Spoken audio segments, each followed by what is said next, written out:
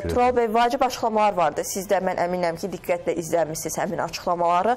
Gəlin ilk olaraq başlayaq Prezident İlham Əliyevin Ermənistana və onun havadarlarına etdiyi e, xəbərdarlıqdan.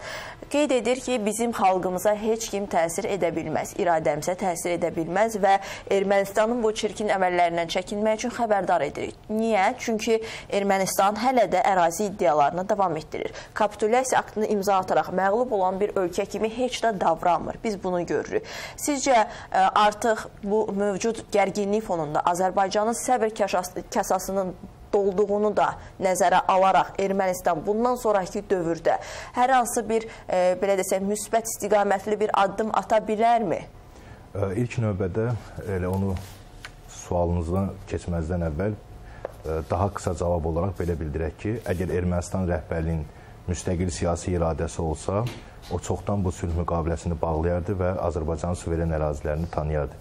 Əgər bu günə qədər müharibə bitəndən sonra belə bir müqavilə yoxdursa və hələ də Ermənistanın və onun arxasında dayanan ölkələrin Azərbaycana qarşı hansısa bir planları, çirkin əməlləri davam edirsə, demək ki, Ermənistan hələ də nəticə çıxarmaq istəmir və ya çıxarmaq niyyətində də deyil.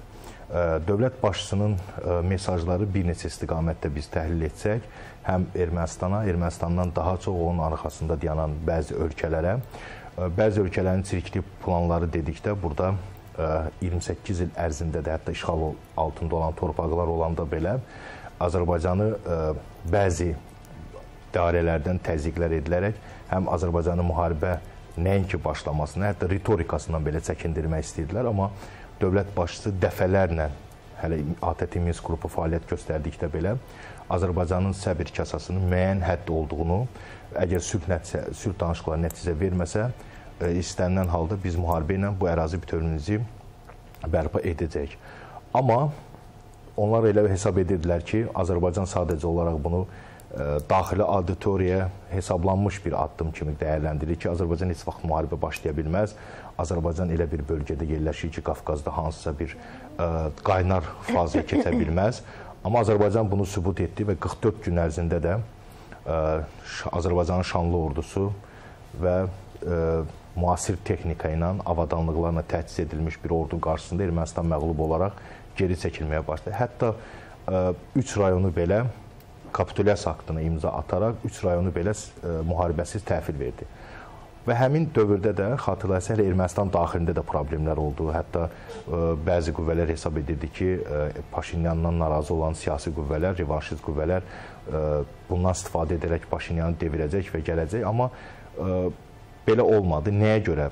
Hər halda ə, müharibəyə hazırlıq 10 illiklər tələb edir. Hətta ə, belə bir müharibədə uduzmuş tərəf siyasi hakimiyyət dəyişilməz dəyişilsə belə o ordu quruculuğu geniş bir imkanlara malik olmaq deməkdir. Bax ona görə də dünənləri bu səbəbdən də dövlət başçısı bir daha xəbərdarlıq etdi ki, 2-ci Qarabağ müharibəsindən nəticə çıxarsınlar. Əgər nəticə çıxarmasalar, bu onlar üçün daha ağır ola bilər. Nə baxımdan? Əgər Ermənistan Azərbaycanın ərazi bütövlüyünü, suveren ərazilərini tanımaq istəmirsə, və Azərbaycan konstitusiyasına, beynəlxalq qanunvericiliyə, beynəlxalq konvensiyalara hörmət etmirsə, onda biz də Ermənistan ərazi bütövlüyünü tanımayacağıq və bizə heç kim də buna irad tuta bilməz. Çünki biz ə, yəni müharibə bitəndən sonra az qala 2 il yarımdır, yəni 3-cü il olacaq noyabrda. Hələ də Azərbaycan sülh təklifini, sülh həlini uzadır, amma Ermənistan bunu geri çevirir. Ermənistan dedikdə, yəni az əvvəl qeyd etdiyim kimi, yəni burada siyasi iradə olmadığına görə Ermənistan hansısa qüvvələrə arxalanaraq Azərbaycan daxilində belə bir gərginliyin yaşanması, yəni Qarabağ daxilində hələ də hesablan hesablayırlar ki, bununla da Azərbaycana hansısa bir təzyiqlər edilə bilər. Amma təzyiqlər nədən ola bilər? Bilirsiniz ki, dövlət başçısının dünənki Talış kəndində verdiyi mesajlar quruculuq işləri əsasında edilən nitq bu bir daha da o dövlətlərin çirkin planları nədən ibarətdir?